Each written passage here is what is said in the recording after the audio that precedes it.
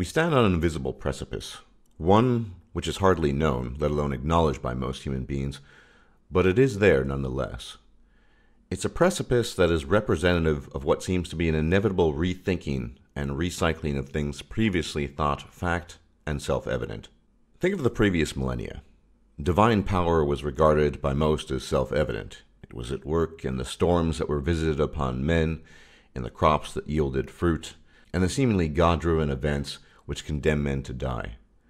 Disease was a curse of the gods, often cast upon man for transgressions against the divine order, or so it was thought. This can be witnessed in the burning of witches and the branding and execution of heretics for calling down divine wrath upon populations. When modern science first found its burgeonings in the 15th century, the context into which it was born remained largely theistic, and remained so for centuries to come. Kepler, Galileo, Newton, all were men of varying degrees of piety, but pious they were. The 18th century represents the slow but gradual shift from a theistic world model to one at least partially shaped and driven by a belief in man as a mover and shaker. During the Enlightenment, religion grew to be of lesser importance. But in particular, this period marks the shrinking relevance of religion for the purposes of understanding the world.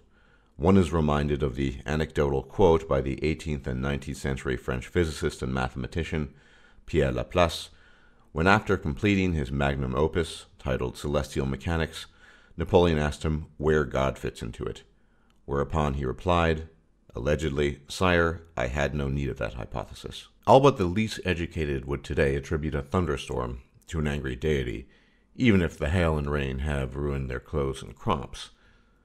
These transitions in thinking and our perception of the world and ourselves represent paradigm shifts that eventually come to dominate how we conduct ourselves intellectually.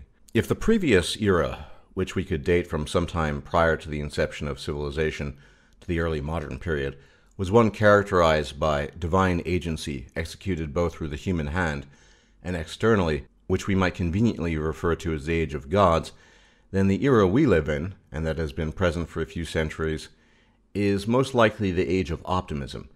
This age of optimism has been characterized by the belief in the ability of man to overcome virtually any problem by way of human virtue however poorly defined human virtue in this context might be, the skills of reason and rationality, and perhaps more importantly, the emotion of hope intermingled between the two, which I will return to later. It stands in stark contrast to the age of gods, because during that age, man was seen to be a hapless recipient of fate, a tool or amusement for the gods. Greek mythology, for example, is permeated with such imagery of mortals being toys of the gods. The true difference between these epochs is a shift in worldview between man's passive agency and active agency. I should point out that there are likely no precise or clear transitions between the worldviews, since the theistic worldview has continued to interfere with scientific and human advancement well into this age of optimism. Think of the Dover, Pennsylvania Intelligent Design Trial in 2005, and still further back, its likely precedent, the Scopes monkey trial in 1925. The desire to find divine agency in the mechanical workings of the world persists and will likely do so for a long time to come, particularly when it comes to issues of human biology. With every fundamental paradigm shift of thought, we can expect ample resistance from those who cling to an older paradigm. This acts as a hindrance, and as mentioned at the beginning of the video, we now stand at a point in which a new paradigm shift is gradually taking place we are ever so slowly transitioning from an age of optimism to an age of realism. The span of time from one age to the next has been noticeably shorter when compared to the duration of the Age of Gods, and much of that has to do with the advancement of science. There has been, however, an interesting turn in events. Science has paved the way for a new understanding of the world and man, but some of the more recent discoveries have brought havoc to the models of optimism that have long dominated the stream of Western thought. Evolutionary theory, genetics, and even the precise understanding of the universe have all, much as waves against ancient cliffs, crashed against the long held and cherished beliefs percolating ever so slightly, bringing about the first signs of erosion to a set of convictions hitherto assumed to be self evident. There are, differences notwithstanding, similarities between the Age of Gods and the Age of Optimism. Both run on articles of faith. In the Age of Gods, power and the ability to effect change was largely attributable to external forces, allegedly divine, and man was a receiver rather than an actor. In the age of optimism, which is to say the present age, there is an unprecedented faith in the faculty of human reason, rationality, and man's ability to overcome challenge through some type of poorly defined free will. At the core of both articles of faith is the striking lack of explanatory mechanism to accompany the workings of said faith. In the age of gods, a successful farmer owed his success to the god's favor, channeled through his callous hands, and a man possessed of heretical beliefs was possessed externally, rather obviously, by the devil. In the age of human optimism, a man who is incredibly fit, strong, and lean achieved this through willpower, or so it is called. Conversely, the morbidly obese man either failed to achieve the former man's results or fell victim to his cravings because of a lack of so called willpower. Notice how in none of the above cases is there a plausible mechanism being proposed as to how these things actually come to pass. Why the crops grow and why one man is fit and the other is obese. In fact, the term God could easily be exchanged for willpower with little difference in description. So let's try that, just for the sake of experimentation. The successful farmer owes his success to his willpower and likewise the heretic owes his lack of faith to a lack of willpower. The fit, lean, and strong man achieves his condition through God's favor, and the obese man is such because he is possessed by the devil. When you dissect the language being used, you actually begin to appreciate that despite some outstanding differences between these thought paradigms, there's actually something lacking, and that is legitimate description. Of course, on balance, the modern age of optimism has produced some excellent descriptive models completely lacking during the age of gods. However, because it is fueled by a type of anthropocentric megalomania, its fatal flaw is that it cannot be confronted with ideas that refute the conceit of infinite human malleability. It was in the early stages of the age of optimism that the modern blank slate theory was born, primarily attributable to the political philosopher John Locke Locke conceived of a human that began with nothing and as life progressed was fed sensory input, leading to the learning of rules. Quote, Let us then suppose the mind to have no ideas in it, to be like white paper with nothing written on it. How then does it come to be written on? From where does it get that vast store which the busy and boundless imagination of man has painted on it, all the materials of reason and knowledge? To this I answer, in one word, from experience. Our understandings derive all the materials of thinking from observations that we make of external objects that can be perceived through the senses, and of the internal operations of our minds, which we perceive by looking in at ourselves. These, too, are the foundations of knowledge from which arise all the ideas we can have or can naturally have. Although modern blank slate theory differs somewhat, Locke's thoughts coupled with strict philosophical empiricism, form the bedrock of the human optimism project, because it is believed that through external input, all things can be learnt, and by extension, the mind can be bettered, behavior improved, and so on and so forth. Much of the fundamental ideas of the Enlightenment, in particular political ideas and values, can be traced back to the optimism that was born in that age equality, fairness, the ability to pursue life, liberty, and happiness and many of these indeed are noble ideals. But the question to ask is whether or not these ideas, born in a time prior to a deeper understanding of human psychology, and above all evolution, can function unfettered.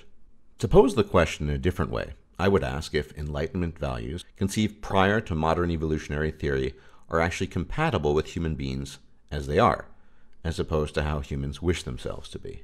Before proceeding forward to the aforementioned considerations of the compatibility of so called modern Enlightenment societies with the realities of human nature, I wish to briefly return to one of the examples cited previously and offer a descriptive and realism based explanation for the purpose of demonstrating that explanation opens up the possibility of real solutions. We saw that in both the gods based and optimism based systems, the explanation of why the obese man is obese, in fact, comes down to a lack of explanation. In a realism based model, the approach is different. Causal mechanisms are explored and lay down the groundwork for possible solutions to the respective problem, in this case, the cause of this man's obesity. So let's give it a go. One plausible mechanism that can be posited for the man might be leptin resistance. I've spoken of leptin before, but to review briefly, leptin is a hormone commonly referred to as a satiety hormone, as its primary role is in regulating hunger. Quote, congenital leptin deficiency is a condition that causes severe obesity beginning in the first few months of life. Affected individuals are of normal weight at birth, but they are constantly hungry and quickly gain weight. Without treatment, the extreme hunger continues and leads to chronic excessive eating, hyperphagia, and obesity. Beginning in early childhood, affected individuals develop abnormal eating behavior, such as fighting with other children over food, hoarding food, and eating in secret. Congenital leptin deficiency is caused by mutations in the LEP gene. This gene provides instructions for making a hormone called leptin, which is involved in the regulation of body weight. Normally, the body's fat cells release leptin in proportion to their size. As fat accumulates in cells, more leptin is produced. This rise in leptin indicates that fat stores are increasing. Leptin binds to and activates a protein called the leptin receptor, fitting into the receptor like a key into a lock. The leptin receptor protein is found on the surface of cells in many organs and tissues of the body, including a part of the brain called the hypothalamus. The hypothalamus controls hunger and thirst as well as other functions, such as sleep, moods, and body temperature. It also regulates the release of many hormones that have functions throughout the body, in the hypothalamus, the binding of leptin to its receptor triggers a series of chemical signals that affect hunger and help produce a feeling of fullness or satiety. So it could be, in this case, that the obese man is suffering from congenital leptin deficiency. Of course, the mutations that lead to this are rare, but not knowing anything else about the case, it is a possible hypothesis. Another hypothesis may involve leptin in a different way in a manner not too dissimilar to the development of diabetes mellitus 2, where the pancreas produces insulin, but the, but the cells develop insulin resistance, preventing them from responding correctly.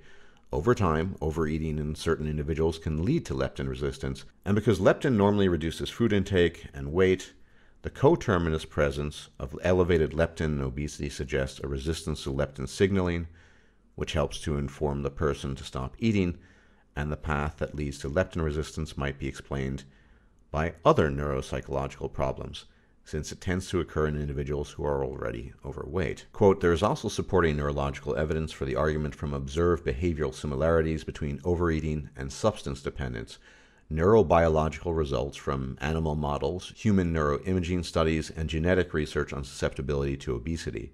Indeed, the similarities between some forms of overeating and drug addiction might derive from the same imbalance in certain neural pathways that mediate the motivation to eat certain foods or take drugs, and those that control the urges. The dopamine reward pathway is central to this goal directed behavior. Pleasurable activities such as eating, sex, or drug use trigger the release of dopamine into an area of the midbrain called the nucleus accumbens. This release of dopamine signals that these activities are worth repeating. However, the excessive consumption of food or drugs can dysregulate this system to the point that pursuit of these rewarding activities dominates an individual's behavior. However, although most abused drugs act directly on the dopamine reward pathway, repeated carbohydrate and sugar ingestion act indirectly by affecting palatability and increasing insulin and glucose secretion. The opioid neurotransmitter system then links the palatability or pleasure effects of food with the reward system, Endogenous opioids subsequently trigger higher levels of dopamine release in the striatum, thereby reinforcing the consumption of food. Opioids might also reinforce food cravings, as indicated by the analgesic effects of sweet foods and the findings that drug blocking opioids also reduce food intake. It is the overuse of these endogenous opioids that dampens the system so as to produce the high levels of endorphins observed in obese individuals. In fact, the abnormal neurotransmitter levels found in obese animals and humans are similar to those seen in chronic drug abusers. So the reality of the case of this hypothetical obese man is that there are multiple possibilities to account for his state, none of which have anything to do with anything divine or some lack of mystical willpower. The realism based worldview is one that necessarily incorporates multiple hypotheses that can be and often are interlinked with each other, as is the case above, with a disturbance in neural pathways leading to possible overeating to begin with, which later on leads to possible morbid obesity due to leptin resistance, because the more adipose tissue one has, the greater potential production of leptin, because leptin itself is produced by adipose cells, which eventually leads to the inability to respond to leptin signaling, thus reinforcing a complex feedback loop begun by the imbalances in neural pathways. Possible solutions can only come about through proper understanding, whether it comes to the problem of obesity or any other. The same principle of dissection and understanding should be applied to social problems as well, as we shall see later. Having willpower, or lack of willpower, does not cut it as an explanation. And despite all these advances in the science of metabolism, when you see an obese person, the most common explanation offered is lack of willpower. I should note that obesity as a scientific phenomenon is not the focus of this video, but I cite it and talk about it because of the methodology used to diagnose and critically analyze a problem without resorting to what effectively are non explanatory explanations. Obviously, an oxymoronic phrase, but one that captures everything wrong with our modern age namely, useless feel goodisms and instinctual responses that advance and change nothing. And this, above all, is the challenge we face in transitioning from an age of optimism and let's face it, lack of explanations, to an age of realism. As I shall explain later, it is absolutely critical that we do so.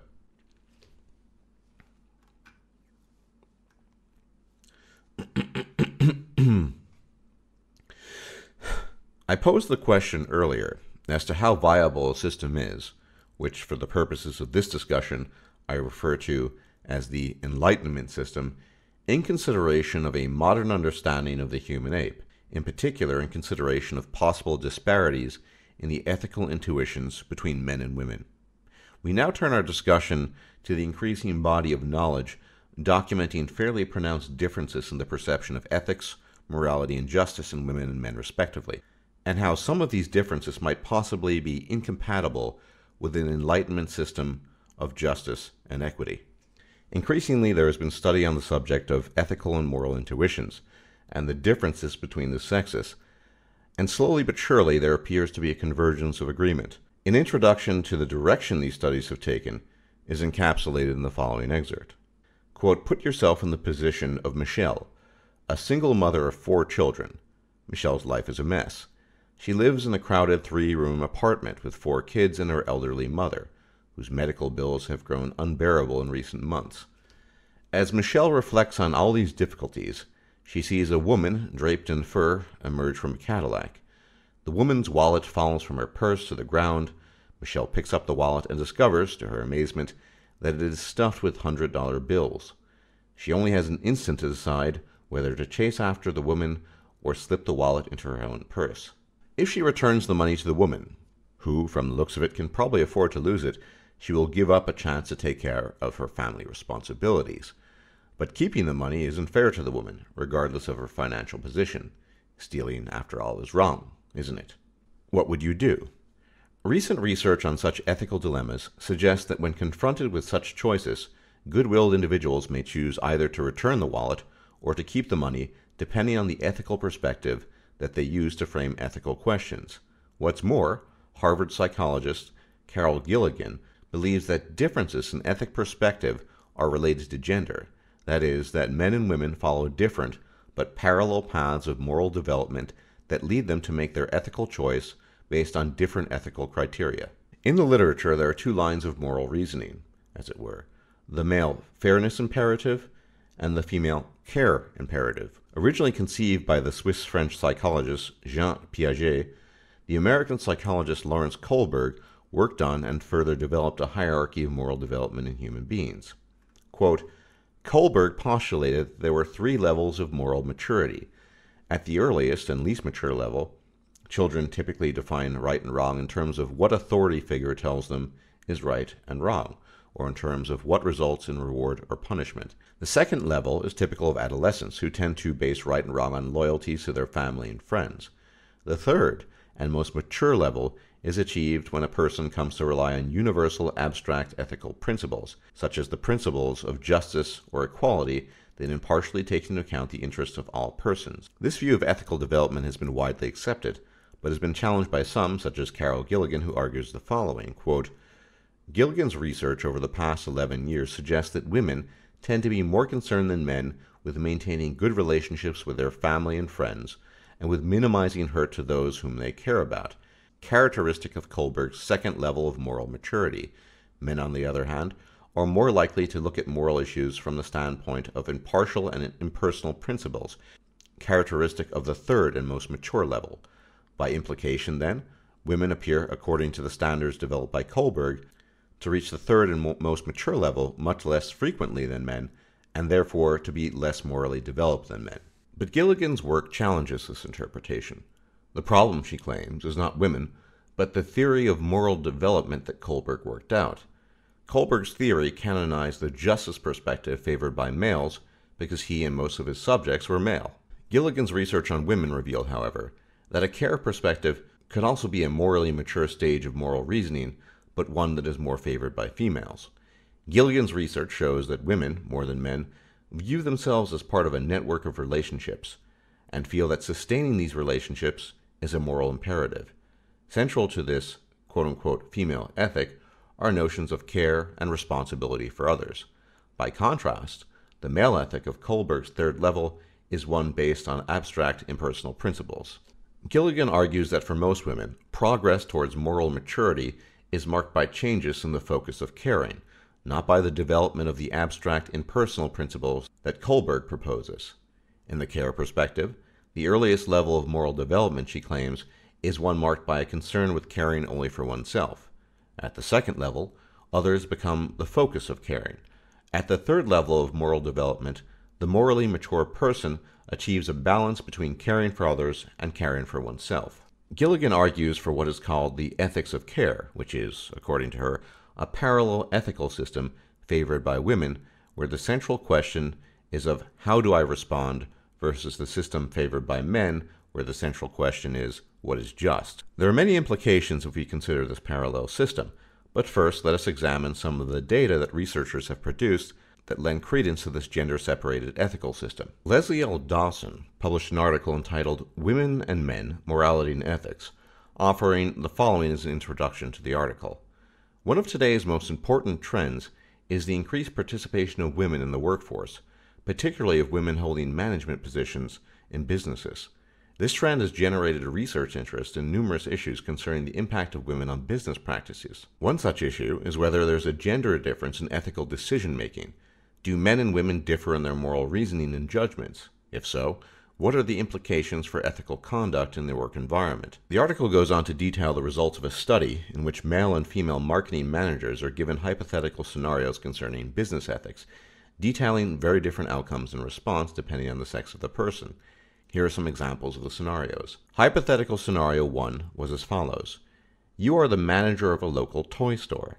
The hottest Christmas toy of the year is the new Peter Panda stuffed animal. The toy is in great demand and almost impossible to find. You've received your one and only shipment of 12, and they are all promised to people who previously stopped in to place a deposit and reserve one. A woman comes by the store and pleads with you, saying that her six year old daughter is in the hospital, very ill, and that Peter Panda is the one toy that she has her heart set on. Would you sell her one, knowing that you would have to break your promise and refund the deposit to one of the customers? And then some brackets here. There is no way you will be able to get an extra toy in time. Now, the results of scenario one were as follows.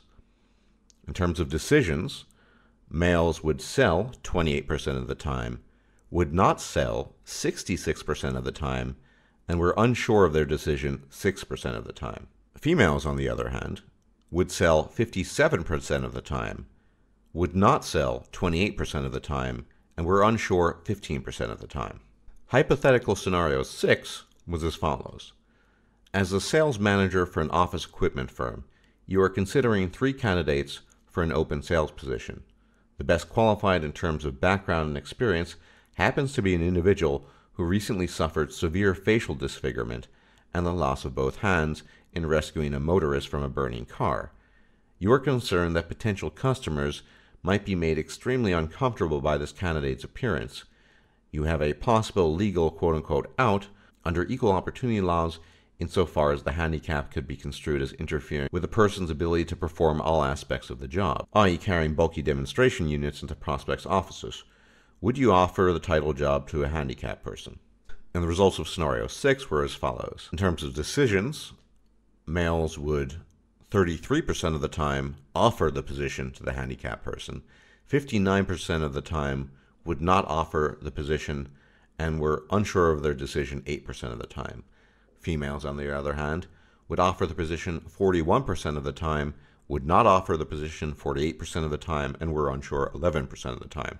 There are, of course, six possible scenarios in total, and a link to this and everything else will be provided in the low bar as usual. But I now wish to move on to some of the conclusions of the article. Now, figure 7 details the conclusions drawn from the participant statements. So the conclusions were as follows.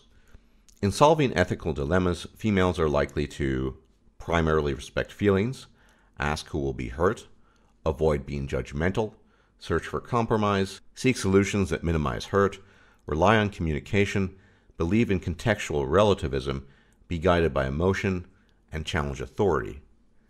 In solving ethical dilemmas, males are likely to primarily respect rights, as in who is right, value decisiveness, make unambiguous decisions, seek solutions that are objectively fair, rely on rules, believe in blind impartiality, be guided by logic, and accept authority. Finally, an article titled Gender Responses to Moral Dilemmas, a Process Dissociation Analysis states the following The principle of deontology states that the morality of an action depends on its consistency with moral norms. The principle of utilitarianism implies that the morality of an action depends on its consequences. Previous research suggests that deontological judgments are shaped by affective processes, whereas utilitarian judgments are guided by cognitive processes. The current research used process dissociation to independently assess deontological and utilitarian inclinations in women and men. A meta analytic reanalysis of 40 studies with 6,100 participants indicated that men showed a stronger preference for utilitarian over deontological judgments than women when the two principles implied conflicting decisions.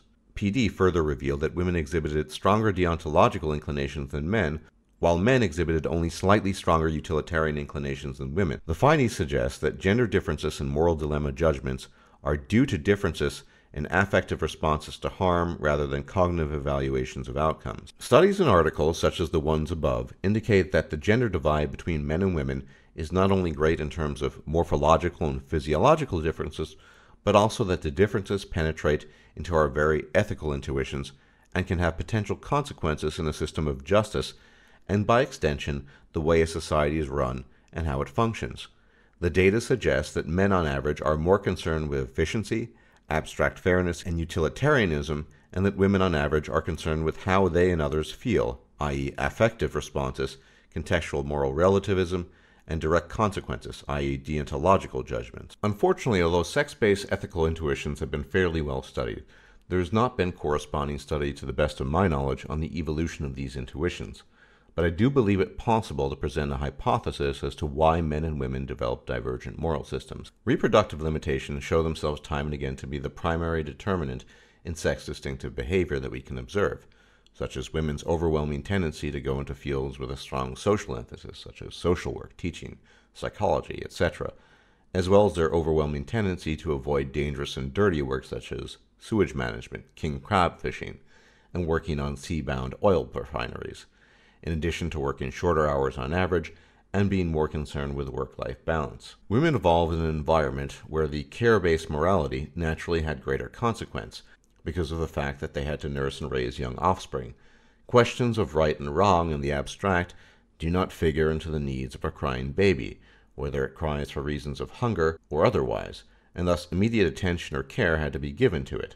Women also did not need to compete with each other in status driven competition as men did, which was often brutal, allowing for a greater focus on forming harmonious relationships which serves to explain why women tend to be more concerned with interpersonal relationships. The care driven ethical intuition fits into the greater picture of sex specific behaviors informed by the reproductive limitations imposed on women via natural selection. Conversely, one can hypothesize that the same limiting reproductive forces that drive men in their work choices, their willingness to work long hours, to engage in dangerous work, to gravitate towards high paying jobs, and to do jobs that require a high degree of spatial reasoning, such as engineering, coincide with the quote unquote abstract fairness morality of men. Men had to engage in long hunting forays in cooperation with other men, and needed to focus on making the execution of the task they engaged in as efficient as possible.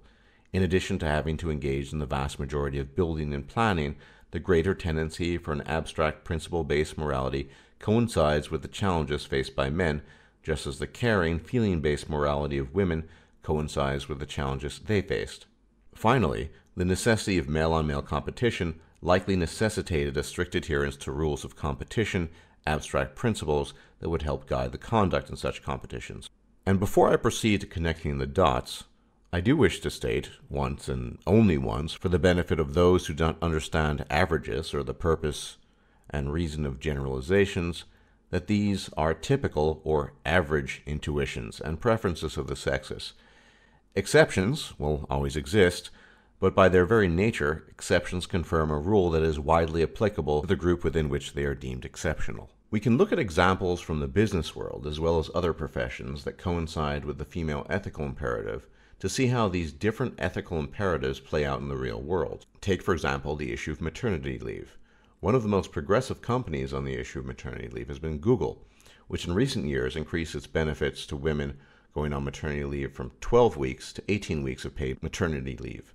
To understand the kind of thinking behind this and how it relates to differing moral values between the sexes, we can examine statements made by the CEO of YouTube. Quote, I was Google's first employee to go on maternity leave. In 1999, I joined the startup that founders Larry Page and Sergey Brin had recently started in my garage.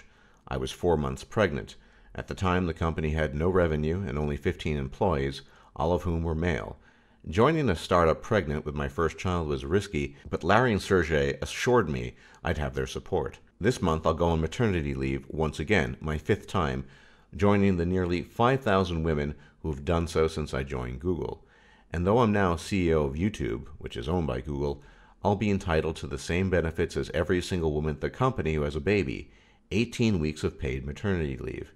Having experienced how valuable paid maternity leave is to me, my family, and my career, I never thought of it as a privilege, but the sad truth is that paid maternity leave is rare in the United States, and the U.S. lags behind the rest of the world in providing for the needs of pregnant women and new mothers. And she continues There are two ways women in America can receive paid maternity leave. They can work for a generous employer that provides it as a benefit, or they can live in one of the few states California, Hawaii, New Jersey, New York, and Rhode Island that have publicly funded paid maternity leave laws. According to the Labor Department, that patchwork of corporate and state benefits covers only 12% of private workers. Low wage earners, those in the bottom income quartile, have it much worse. Only 5% get any paid maternity leave. The Family and Medical Leave Act of 1993 is a step in the right direction, but it is unpaid and doesn't cover half the working women in the U.S. In study after study, the ILO and other labor and health organizations have shown how harmful a lack of paid maternity leave can be for mothers and their babies. Many times, when faced with insufficient maternity leave, mothers choose to drop out of the workforce, leading to a considerable loss of income during a woman's most productive years. Or it can force a woman back to work too quickly, with adverse effects on her and her child's health. Paid maternity leave is also good for business. After California instituted paid maternity leave, a survey in 2011 by the Center for Economic and Policy Research found that 91% of employers said the policy either boosted profits or had no effect. They also noted improved productivity, higher morale, and reduced turnover. That last one is one we've seen at Google. When we increased paid maternity leave from 12 to 18 weeks in 2007, the rate at which new moms left Google fell by 50%. We also increased paternity leave to 12 weeks from 7 as we know this has a positive effect on families in our business. Mothers were able to take the time they needed to bond with their babies and return to their jobs feeling confident and ready. And it's much better for Google's bottom line to avoid costly turnover and to retain the valued expertise, skills, and perspectives of our employees who are mothers. Best of all, mothers come back to the workforce with new insights. I know from experience that being a mother gave me a broader sense of purpose, more compassion, and a better ability to prioritize and get things done efficiently. It also helped me understand the specific needs and concerns of mothers who make most household spending decisions and control more than $2 trillion of purchasing power in the US. I've been lucky to have the support of a company that values motherhood as much as Google, and I've been lucky to live in a state like California that supports working mothers. But support for motherhood shouldn't be a matter of luck, it should be a matter of course. Paid maternity leave is good for mothers, families, and businesses. America should have the good sense to join nearly every other country in providing it. There's a great deal to cover here, but we can notice the care based morality being consistently expressed throughout the statements made by YouTube CEO. Statements such as valuing motherhood and providing for the needs of working women and mothers. There is also the bold claim that paying someone to effectively take an 18 week vacation increases profitability for the company and or does not harm it. And that is a very difficult statement from my end to quantify. One way to look at it is to pose the question as to whether or not an employee who does not take off 18 weeks for paid vacation and continues to work throughout would not be more profitable than having to hire a temp worker who is likely less qualified and pay someone to take a vacation based on a personal choice they make, i.e., becoming pregnant. Do the costs involved in the 18 week paid maternity leave, including searching and hiring a temporary employee, as well as paying someone not directly contributing to the company, actually outweigh simply maintaining a skilled worker who will continue to directly contribute to the company for the 18 week period? Unfortunately, there are no direct studies on this, but logic and common sense would dictate that the person who stays on for 18 weeks and directly contributes will contribute more to the bottom line than someone who leaves for 18 weeks, with all the attendant costs, such as hiring temps and trying to find qualified people. So, whilst it might not directly hurt the bottom line, it is almost certainly not as profitable as having someone stay and work for the 18 week paid absence that is seen as a necessity and right as proposed by the CEO of YouTube. Jay Miletsky, on the other hand, founder and CEO of Sequel Media International, offers a number of counterarguments and we're going to listen to them here to see how the gender division, ethical perspectives and business comes into play. Let's start by understanding the purpose of a corporation in the first place. A company exists because a person or group of people saw a need in a market and an opportunity to profit by satisfying that need. The investors in that company have put money into it with the hope and expectation that they will see a positive return on their investment through future profits earned through the sale of products and or services provided by that company. In the process, the company buys equipment and materials and services, helping other companies flourish in the process, and hires individuals to complete tasks, creating jobs for those people. And that's it. That's their purpose, to generate a profit for their investors. With that as their core purpose, other tangential benefits arise, like increased employment, increased taxable income, and more. Some companies do well enough that they can give back to their local communities or get involved with various charities, and that's their choice to do so when they feel financially able to. Similarly, some companies offer generous benefits, such as paid maternity leave, as a means of attracting the best talent. Companies that can't afford this benefit either need to settle for less talented employees or offer other benefits that may be more affordable to them, and similarly appealing to potential employees. It's basic principles of supply and demand, without the need for the government forcing a company's hand. Employees typically understand the benefit package a company offers before they accept an offer for employment. It's selfish and petty to accept a job under a specified number of conditions, only to whine about those conditions later on, when your own situation changes and the benefits package you once agreed to is no longer convenient for you. The reality is, for many companies of all sizes, paid maternity leave is simply too expensive. It's not unusual for companies to run on very tight budgets with very little wiggle room for additional expenses. Hard-working entrepreneurs everywhere often work without taking a salary for long periods of time in order to stay afloat and realize their vision. Paying three months' salary to a suddenly non productive employee simply because they made the decision to have a child would strain many small businesses beyond the brink of insolvency. If maternity leave was mandated, Many companies would have to make up the differences by laying off other employees or raising prices of their products and services, ultimately hurting customers. And what of the other employees who are not having babies?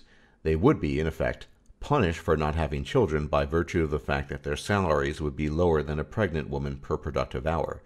Consider a situation in which two employees make the same annual salary. One employee gets pregnant and takes three months maternity leave, during which the company is forced to pay her full salary. If the annual salary is calculated on a per productive hour basis, the employee on maternity leave, having fewer productive hours than a coworker, ends up making more for each hour actually worked. The employee who didn't choose to have a baby is punished for not having a child and working three months longer. Inevitably, this will cause the employee to complain and demand either higher salaries to make up the difference or want similar paid leave, two options that will negatively affect the company overall employment, and prices charged to consumers. Now, if you pay close attention to who is speaking and what is being said, you can essentially see the dichotomy here that the arguments are being made along sex driven lines.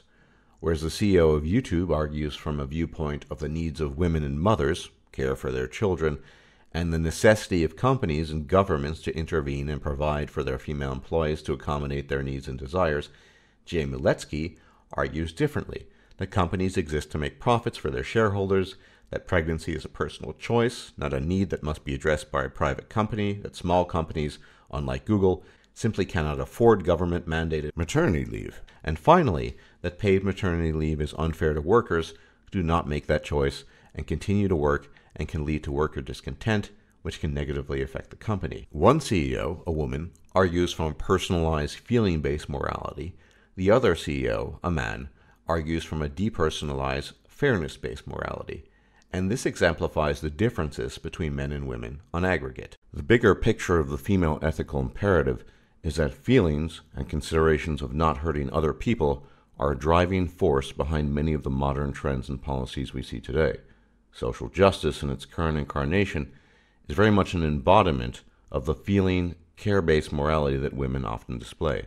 The demand for equal treatment, and by that is meant feeling equal rather than actual equal treatment, is embodied by modern social justice, is an extension of the female interpretation of egalitarianism, which is not the same as the classical liberal definition of egalitarianism, which implies equality before the law, not equal outcomes or even opportunities for that matter.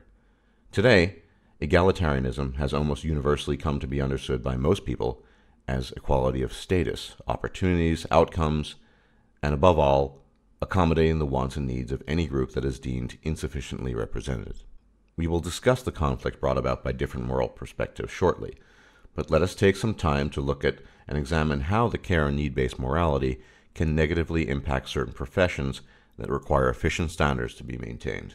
Many might be aware that the NHS, or the National Health Service in the United Kingdom, has been in terrible shape in recent years and there's been the suggestion, indeed by doctors, that the choices made by female healthcare professionals may be contributing to the problem. In a 2014 article, Professor and Dr. J. Meirion Thomas stated the following quote, For many years, until the 60s, fewer than 10% of British doctors were female. Then things changed. For the past four decades, about 60% of students selected for training in UK medical schools have been female. This is understandable in academic terms because girls achieve slightly better A level grades than boys. They also mature earlier and may present themselves more impressively to medical school selection committees at the age of 17. The effect is beginning to be seen. In 2012, a total of 252,553 doctors were registered with the General Medical Council. The male to female ratio was 57 to 43 percent. However, in its annual report last year, the GMC documented the changes in the UK medical register between 2007 and 2012. The most significant change was that the number of female doctors under the age of 30 had increased by 18%, while the number of male doctors decreased by 1%. Indeed, in this age group, 61% of doctors are now women and 39% men.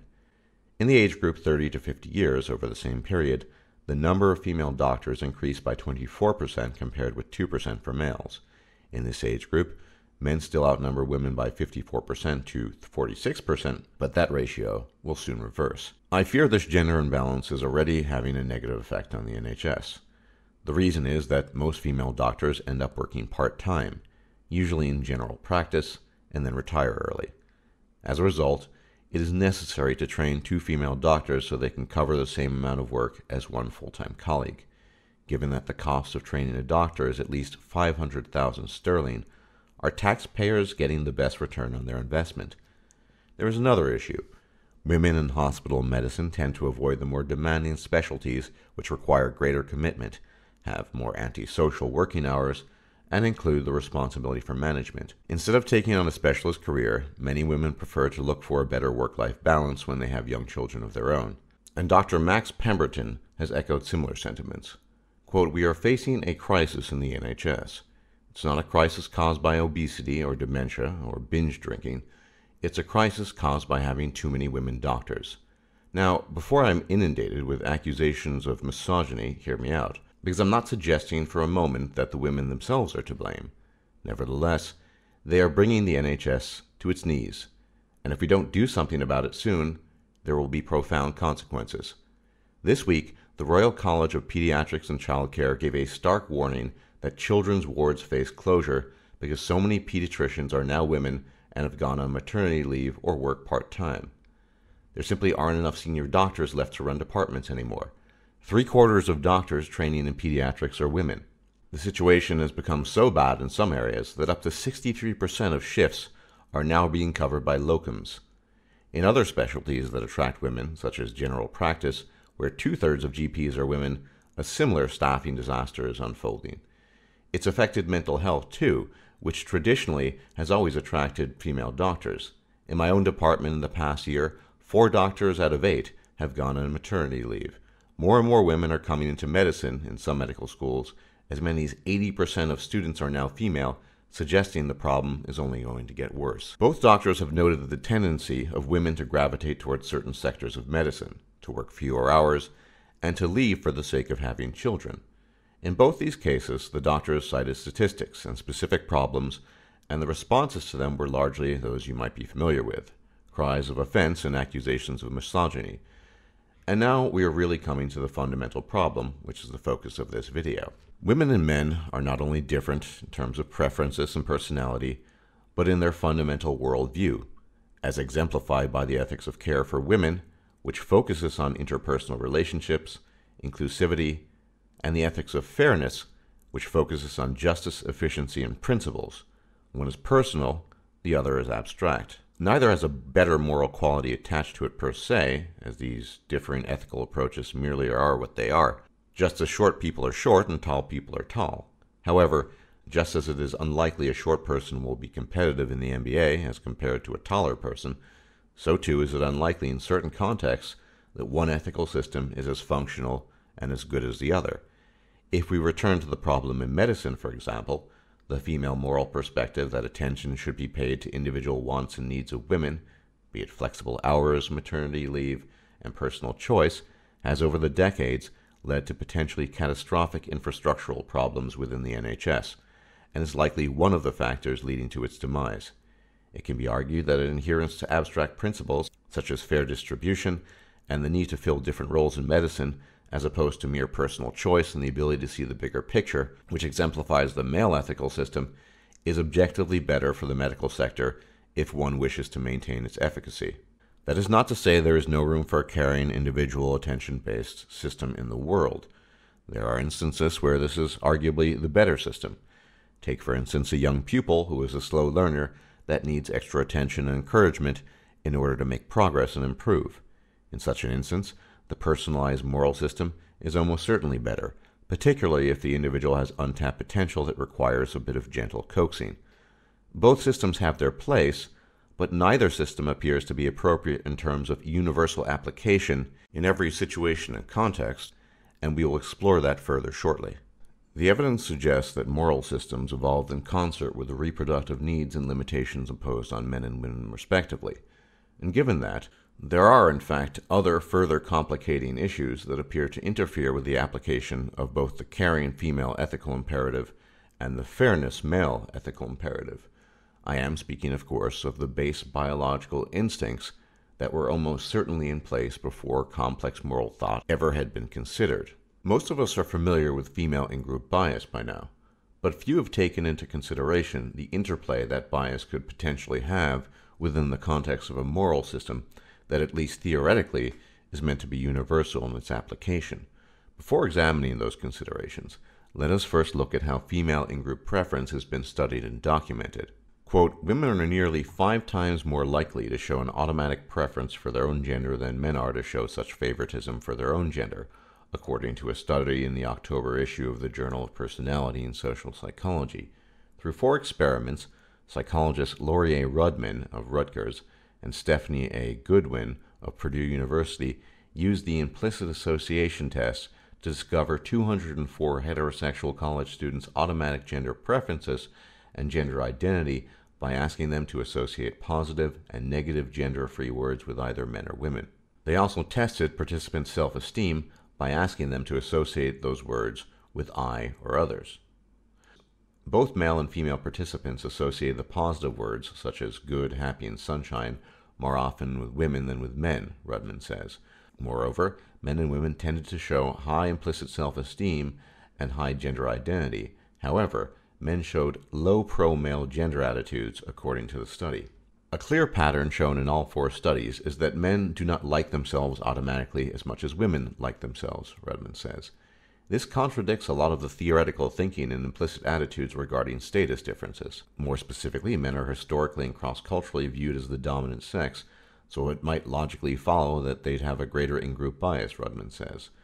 To explore why their study found the opposite pattern, Rudman and Goodwin evaluated several possible reasons. They found women's high self esteem and female identity, on average, bolstered their automatic liking for women, whereas men's liking for men did not rely on high self esteem or masculine identity. In other words, women can be characterized as thinking, quote unquote, if I am good and I am female, females are good, whereas men can be characterized as thinking, even if I am good and I am male, men are not necessarily good. Men and women who implicitly favored their mothers over their fathers, such as by associating more positive words with their mothers than their fathers, also showed a pro female bias, which suggests the influence of maternal bonding on gender preferences. In addition, people who report being raised primarily by their mothers also showed pro female bias on the IAT. Researchers using self reports found no self evidence that maternal attitudes influence gender attitudes.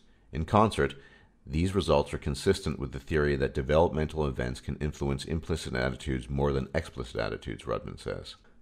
The implication of the study is that women tend to have a collective gender identity and men do not, with the following considerations. If women on aggregate tend to collectivize themselves and see each other as being linked to each other, but men do not, then there will almost certainly be interference stemming from this particular psychological trait when applied to the moral psychology of the genders, specifically, that the implication of the female caring morality is not generally applied to men because of in group preference, and conversely, the abstract fairness morality of men tends not to be applied evenly in unisex settings because of men's inherent desire to please women and their fondness for them the latter sometimes being referred to as benevolent sexism, such as when men bypass the rules they establish for themselves and apply them differently to women. Before we proceed to how the sexes use different moral intuitions to interpret abstractions such as egalitarianism and equity, let us consider the following data. Cancer is the leading cause of death in the health domain in the United States after heart disease. Let's look at some stats. Quote, the top killers, lung and bronchial cancers, killed about 155,000 people in 2014, or about 49 deaths per 100,000 people. Colon and rectal cancers claimed about 16 lives per 100,000 people. And breast cancer took about 13 lives per 100,000 people.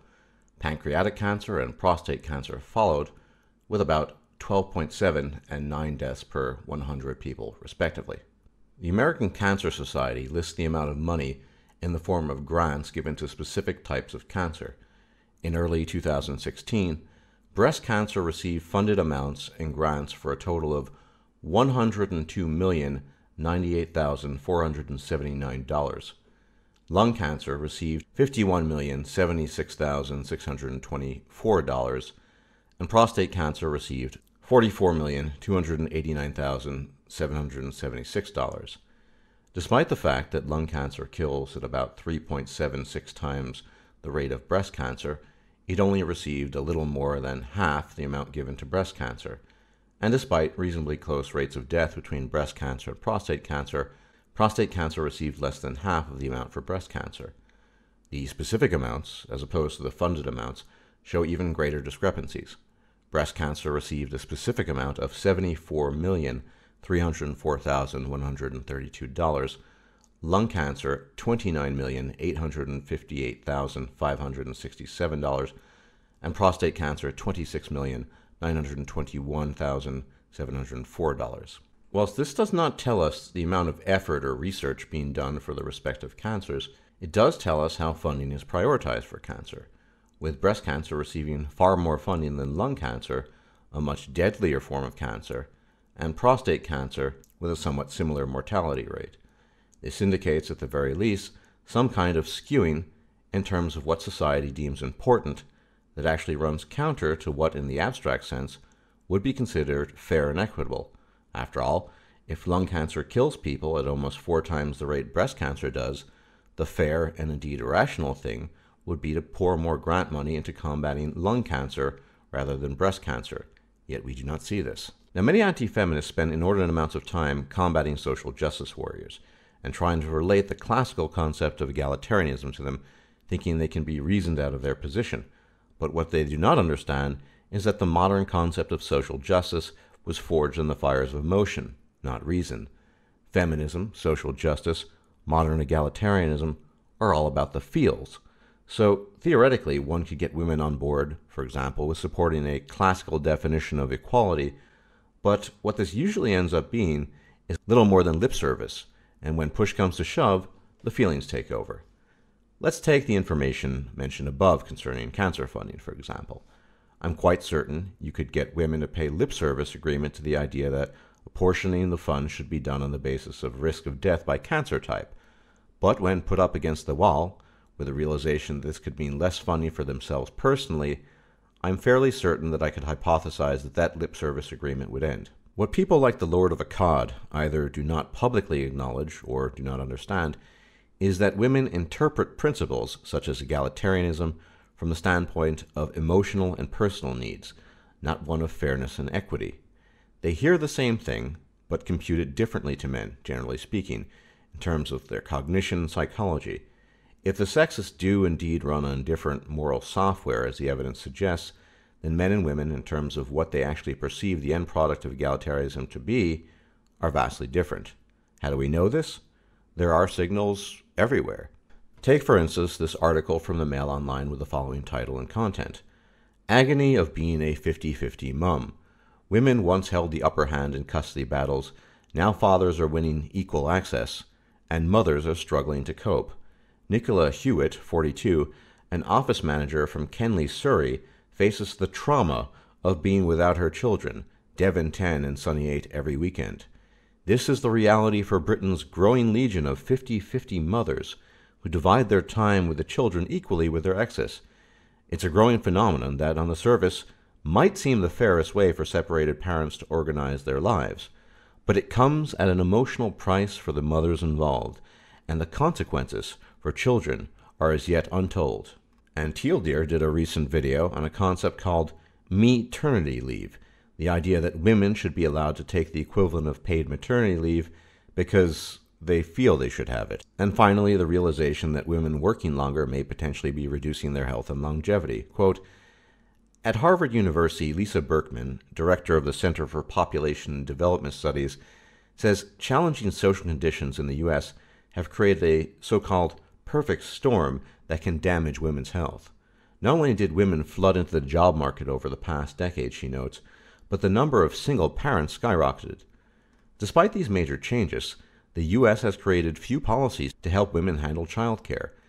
As a result, there are quote unquote extreme stresses, even on the relatively advantaged, she said. Job stress can be particularly damaging for employees who hold jobs with rigid hours and high demands, such as clerical, administrative, or production work, researchers have found. When Berkman studied women stressed by work and family conflict, She found they had more medical issues than other working women.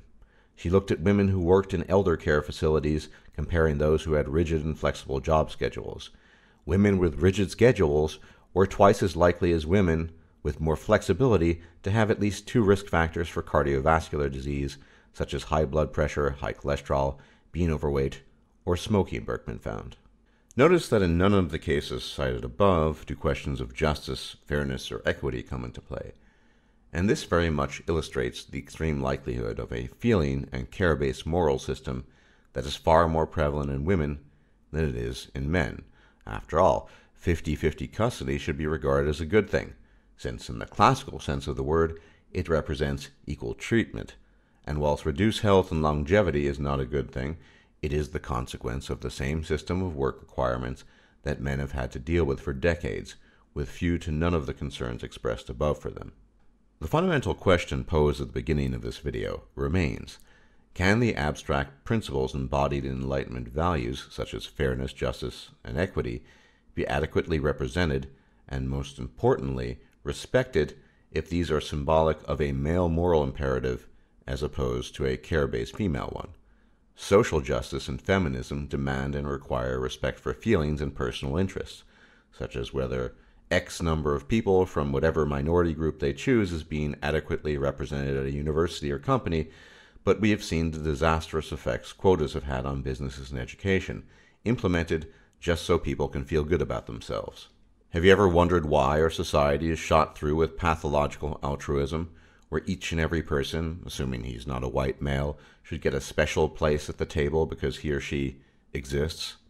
Neither the male oriented fairness morality nor the female oriented caring morality have, in and of themselves, any particular positive or negative value in the abstract. However, we cannot deny that these different moral perspectives have consequences for a plethora of structures that make up what we call society. A society that shuns abstract principles of fairness and efficiency when those very principles have been the bedrock of said society and were what allowed human civilization to advance as far as it has, will regress, and we have definitely seen a regression. There are huge real world consequences for the disallowance of competition in education, business, and life in general. Huge superstructures require the effective implementation of abstract principles to run effectively in the long run, not preferential treatment, individualized care, and avoidance of hurt people's feelings. We call that meritocracy.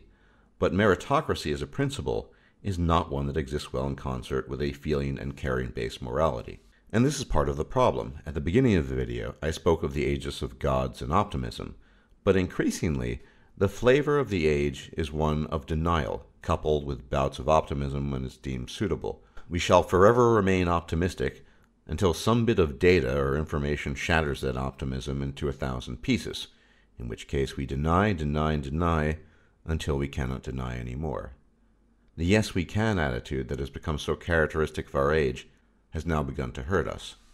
I find it routinely amusing when I'm called a defeatist or a nihilist or someone who just doesn't care. I wish to see humanity improve and overcome its limitations. On the contrary, it is in fact defeatist to make use of euphemisms such as anti egalitarianism to describe gynocentrism for a number of reasons. First, it does not accurately describe the content of what gynocentrism entails, how it works, what its origins are, why we are so drawn to it, etc. Second, if egalitarianism as a concept is in fact, as I have hypothesized, fundamentally interpreted differently by men and women, then using the term anti egalitarianism will have as little impact as egalitarianism itself, convincing the masses of its value. It's puzzling to me that people ask the question what good is knowing all of this stuff? This, it seems to me, is akin to asking what good learning anatomy is for a doctor or seismology for a geologist. I will bring up the example of the obese man again.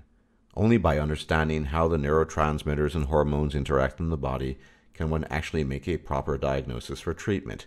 Screaming willpower, we know, has little to no effect. But that's just it, is it not? The age of gods might be gone, but there are far, far too many of us who still voluntarily adorn themselves with articles of faith. Why did the Lord of Akkad seek to ban social justice from universities? Why? Because it is anti egalitarian. But then again, So is four to five months paid maternity leave, whilst non pregnant workers continue to work with no such benefits. But we can't talk about that, can we? Those of us who seek to understand, to unravel the human condition, are called defeatists and nihilists, because when properly appraised, overcoming the human condition, with all the attendant negative attributes we possess, requires the absolute and intransigent devotion to truth, evidence, and does not allow us to shy away from things that make us uncomfortable, uneasy, and above all, make us realize just how ordinary and unremarkable animals we in fact are. And overcome we must, for if we do not, we as a species and civilization are surely doomed. The only way to actually change anything is the ruthless and fearless pursuit of reality. And now I finally begin to see cracks and fissures in the hard rock of the edifice of denial of that modern day optimism that is little more than mystical faith. Blow by blow, we edge ever so slightly towards understanding, acceptance, and with that, the infinitesimally small chance of actually turning this train we call humanity around, this train currently bound to run off a cliff. Reality demands of us honesty. Thus, we do not mince words, nor are we here to run a perpetual PR campaign to appease the masses so their feelings will not be hurt. We simply cannot afford it. Faith, whether of the religious sort or the optimistic sort, must be replaced by cold and principled understanding. And now, perchance, you'll permit me an ostensible digression. When I was young, I was an avid reader of fantasy. There was a series of books called The War of the Lance, which took place on the fantasy world of Krynn. The great war was being fought against the forces of darkness, but the heroes of light were few in number, lost in purpose, and adrift in a sea of hopelessness. The de facto leader of this band of would be heroes, Tanis Half Elven, beleaguered and beset by doubt, turns to the cynical and much maligned mage Raistlin Majere for advice. Raistlin critical of the bumbling and fumbling and the lack of direction. And to be honest, much of the detail of the conversation has been lost to my memory, as I had read the book many, many years ago. But one thing stuck. Raistlin said the following to Tanis Hope is the denial of reality. It is the carrot dangled before the draft horse to keep him plodding along in a vain attempt to reach it. To which Tanis replies, Are you saying we shouldn't hope? And Raistlin rather wisely replies, I'm saying we should remove the carrot and walk forward with our eyes open. As a child, there was something always strangely appealing about Raistlin and his mannerisms, and this statement even more so, because it remained forever lodged in my mind for decades after the fact, uh, but as a child, I didn't quite understand the intent behind it. Only years later was it clear what Raistlin sought to convey. Hope with no understanding racks the mind and body, driving it into the grave, and perhaps more importantly, it leads nowhere, and is little more than faith. Faith in a bright new day, faith in a God, faith in a slogan or euphemism or ideology, but ultimately amounts to nothing. Hope to the extent that is proffered at all can only have value when accompanied by the tools that allow for the implementation of the things hoped for. All else is blind folly and the fool's errand. Much as Tanis and Raistlin struggled in their war, so too do we struggle in ours. It is a war against ourselves, a war of conflicting interest and internal confusion, a war forged by millions of years of evolution and instinct, battles of cognitive dissonance and emotion driven denial, and we will surely lose it if we fight it with vain gestures, euphemisms, and appeals to emotion. We can win it. The chances are small, incredibly so, but it is possible. Yet we cannot do it in denial and ignorance. We must remove the carrot. Thanks for watching.